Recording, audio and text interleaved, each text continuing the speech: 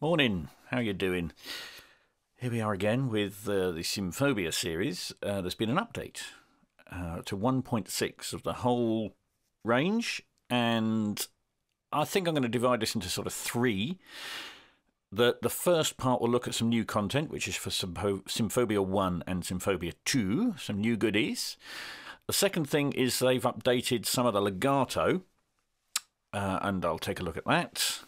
Uh, in the original reviews, I pretty much said some of it's fantastic and some of it isn't. So, we'll see how that's changed. And then the third thing is some new general features.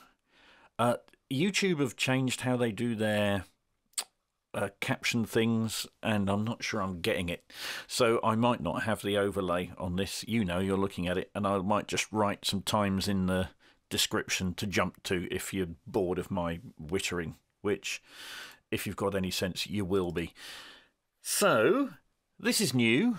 Um, what we have here is string ensemble sul tasto ensembles. Sul tasto is playing soft and thin. You do a thing with a bow. I'm not a string player, I don't know, but you do a thing with a bow and it comes up soft and thin. There are two patches, ensemble and persection, and I'll tell you about the difference in a minute, but let's just play a bit.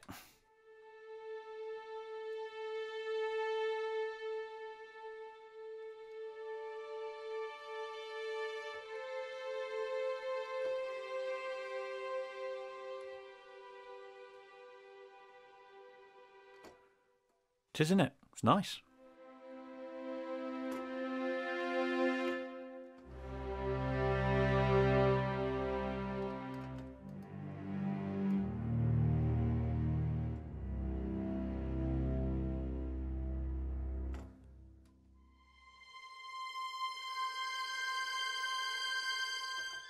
Goes up pretty high. Oi. E, it's still going. It's still going. E6 it goes to. Um, and that's your sul tasto, really. And I said there were these. There's two two different patches. There's they introduced at some point this difference between switching and stacking. This is stacking. So what you're hearing is an ensemble. You play across the whole keyboard. Put that up a bit. There you go. There we are. So playing all at once, like it's an ensemble. It's not really recorded like that. It's recorded all with violins, and you can break it down. If I switch to switch, I can switch to just the violins and so on and so forth. And the only difference between this patch and this one that says persection, because they will look almost identical, is that, well, the only apparent difference is that this is switching between them all. So I'm just playing violins, there's nothing else. I think, what's the point if you've got this switch? The point is that in the ensemble version, which I'll just go back to, what they actually do, I, I can't be bothered to demo it, but I, I played around with it just now. And essentially, the different sections will fade as they as as the cellos cross over into the violas as the violas cross over into the violins there's a graceful fade between the two so that when you're playing it stacked it all sounds smooth and you're not getting a big jump if you only want to work with an individual section though you can and there's some new little tricks that, I, that I'll come into later as to um, some more things you can do with these separate sections now. Um, that's that. So let's get rid of that. So, no. Symphobia 2, we have some new goodies in there. Ghostly strings, we have. Where are we? Ghostly strings. And there's a few um, different new patches here. So, uh, let's start with Undead Trills. Yikes! Nice. And you've got these different um, variations what am I doing? What am I doing? Click, click, click. Oh, sorry, that was Kres Dim. So it will get loud and go away again. Uh, so not a huge range on this, but uh, it does the business, doesn't it? Crescendo. And for some reason reversed.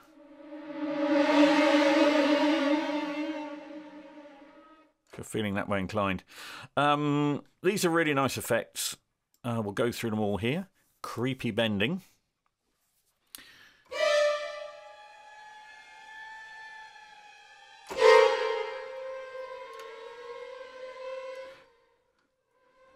So if you play it softly, you just get the creepy bending. If you whack it, you you have a little startle to begin with. It's got a you know it's got a reasonable range on this, bigger than the other one. Uh, full range, wide range, even bigger. And here you don't have that attacking option. So the full range is if you need that attack thing. If you're just doing creepy bending, what does a few notes sound like?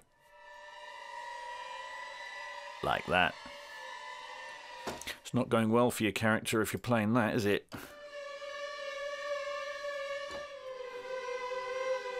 Tonal, so here you can sort of... A G is roughly a bendy G. And barely tonal.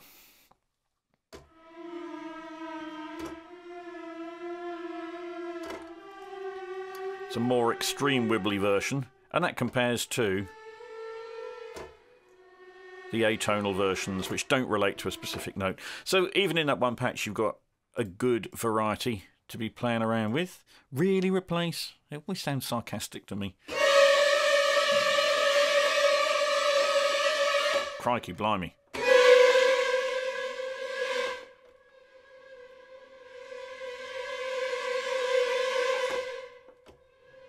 Again, you've got this aggressive hit on the higher velocities. And you've got mod wheel control. And this is the same stuff Crescendo did. Blah, blah, blah, blah, blah. Let's play the sting.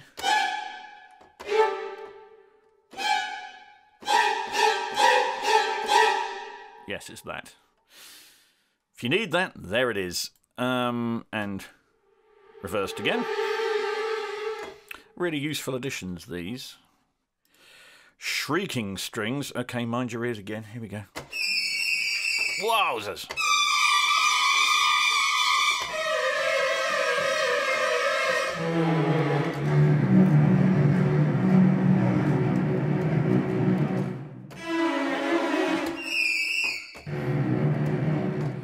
Switched off my speakers.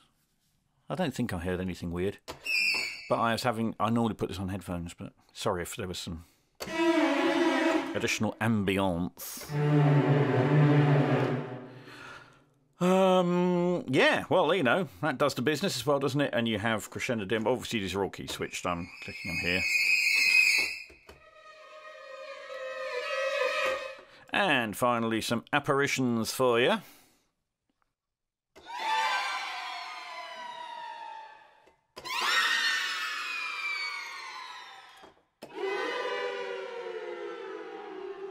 Falling Wavy.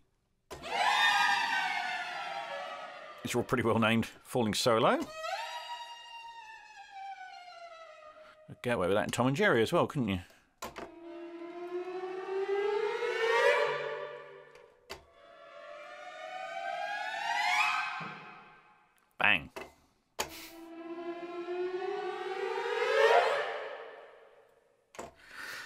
Very handy little additions, those. So that's the new content. It's only Symphobias 1 and 2 that's got new content per se. But let's move on. Let's move on to the legatos at this point because, as I said at the start, you've got. Um, they've reworked the legatos. In, in Lumina, Symphobia 3, down here, uh, it doesn't have any new content, but it's still like a one and a half gigabyte download. So that says to me that they've re-edited, they've re-recorded the material. You've got new samples. They haven't recorded new material as such, but they've re-edited it. Um, so.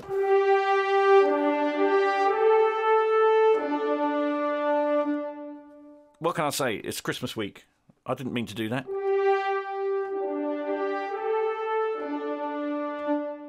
Oh, doesn't go up there. Nah.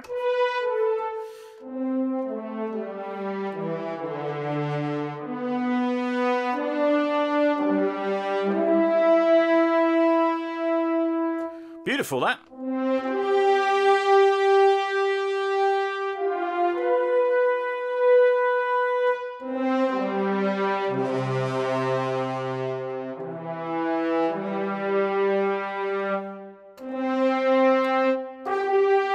And you've got this whack it. You see the. I'm pointing at the screen like an idiot.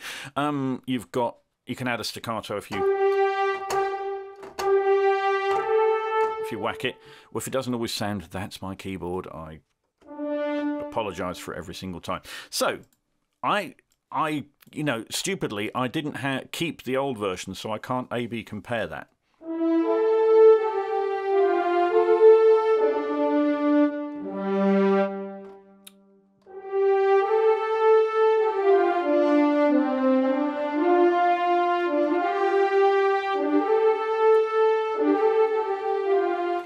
Coping very well, even playing quite quickly there. Um, let's pick. Uh, let's try flute and clarinet.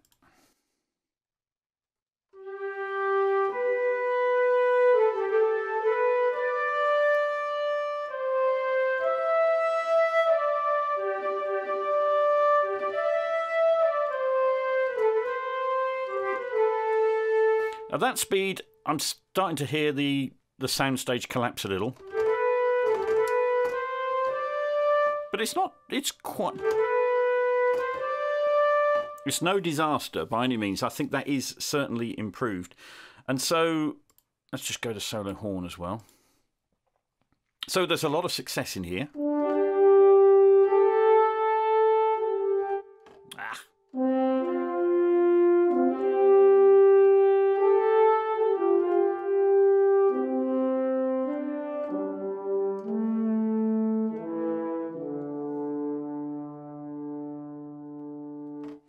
Um, and that's all working very well for me, actually. Um, and good shout. Uh, that's very good. There's, you see this folder here, by the way, optional polyphonic layers. Uh, that it's the same sounds and samples that we've been playing, but no legato. You've got sustain. So if you want to play those combos polyphonically, you can. Now, let me just pop over to Lumina a moment let's just see how some of theirs is doing. Let's try the clarinet from Lumina.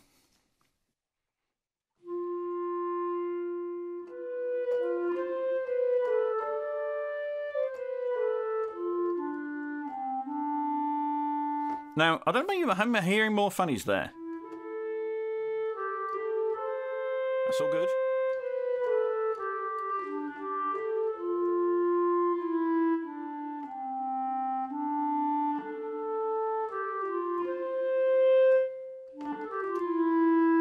Again, when you speed up,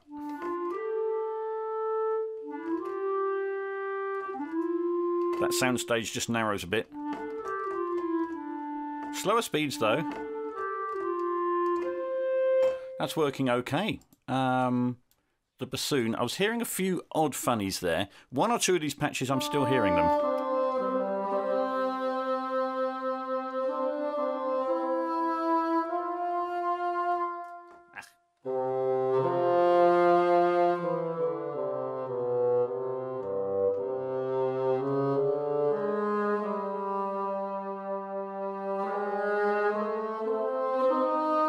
Nice, very good. Uh, the trumpet. Now, from memory, this was one where I thought, still haven't quite nailed it.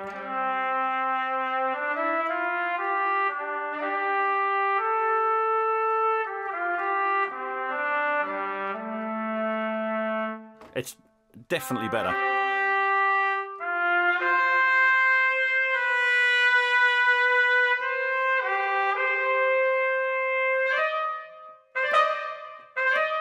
That's that hitting it hard staccato effect, which should carry on, but I think that's my keyboard. Why it's not.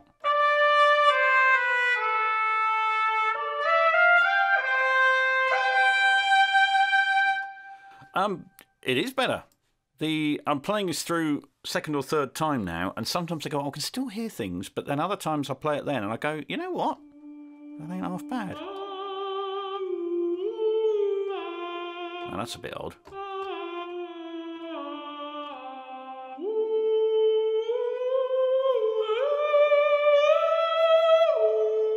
Okay, in that register, I'm playing it more softly as well. That's right, you've got oohs and ahs on. That's why. You've got to play evenly or else it changes between ooh and ah.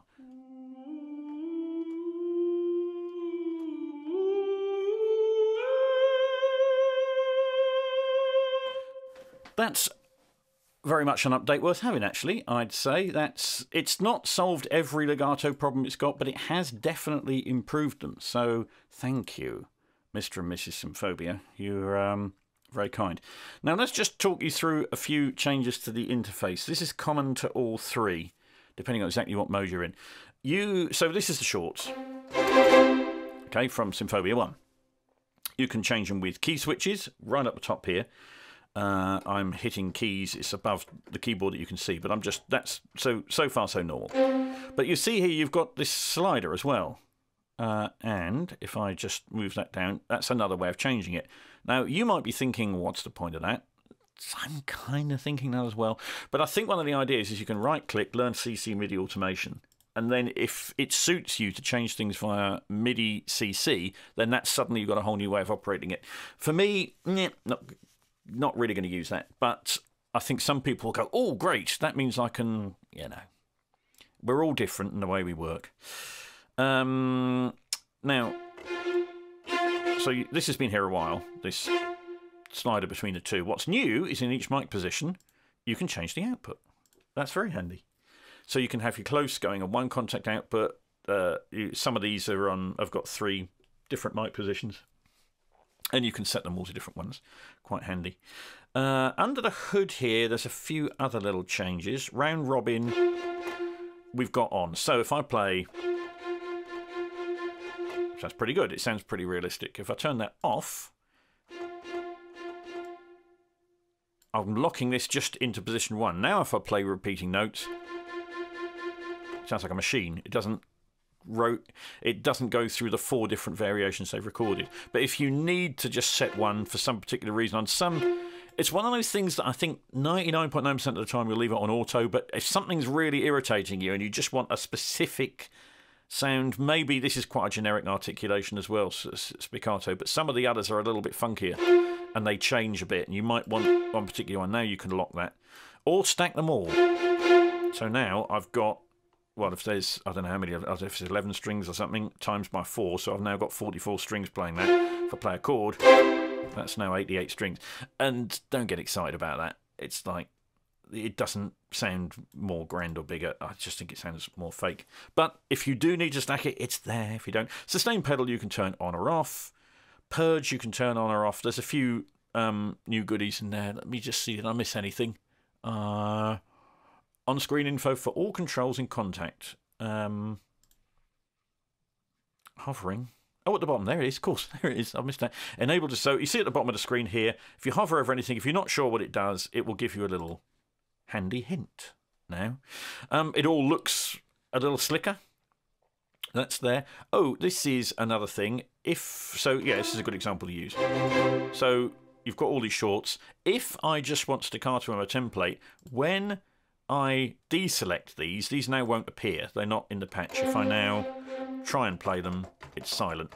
But what it's done is that it automatically purges it from memory. Have a look up here as I deselect these. Oh, it's going down, it's going down, it's going down, it's going down. Uh, 63 um, is used for staccato. And you can be as nerdy as you like. Uh, spiccato, that's just like that. That is now just a spiccato patch. And funnily enough, for Symphobia 1, I still like doing that in my template. I've got uh, a shiny new template I'm working on here that's a very long per, uh, work in progress. I will do that in another video as to why I'm doing it. But anyway, point is, um, if you can use all the new features of Symphobia and still just lock it to one articulation and only use that amount of memory, so that's quite nice. Um, that's, I think, the update. So it's well worth having. It's, I mean, just a moment as well to reflect. This Symphobia 1, I think, is about 10 years old now. And you're getting new freebies all the time. Sul tasto is brand new, and it was I bought this 2009, I think, um, and it's amazing. Eight years on, that I'm still getting a return on that investment. You know, obviously the buying price has come down. It used to be about a grand, and uh, it's on sale as I write, but I can't remember what it is at the moment. And obviously it's come down because that's the nature of the market. But it's like I don't regret for a second having that price come down because I I've got a so much use of it, and b I'm still getting new goodies out of it, and not many companies do that. Some some do, you know, they're not the only ones, but fair play to them. I think that's uh, terrific that they that they don't abandon things and get you to buy some whole new range that come out. They just keep adding to it and refining it, and uh, that suits me.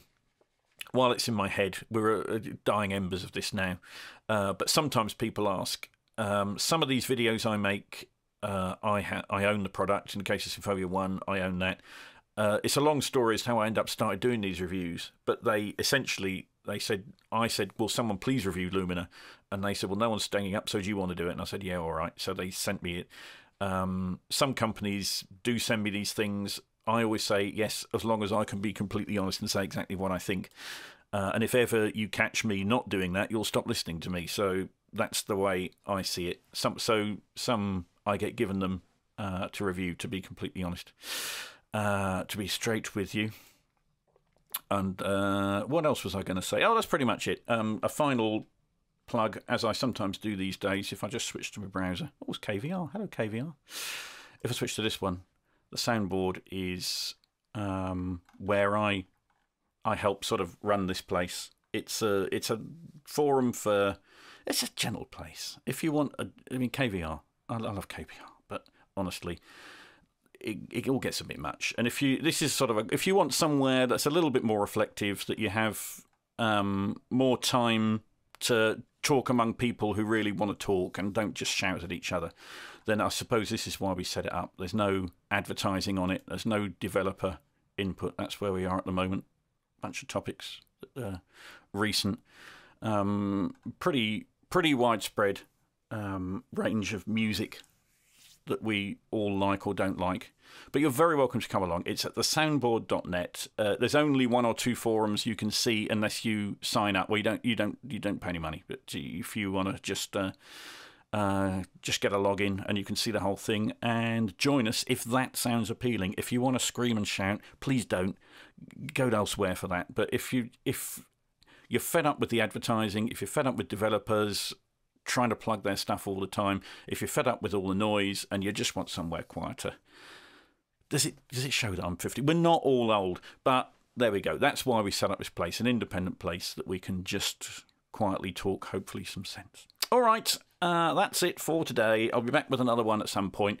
Uh, you're all lovely. I'm writing this, where is it? 30th of December.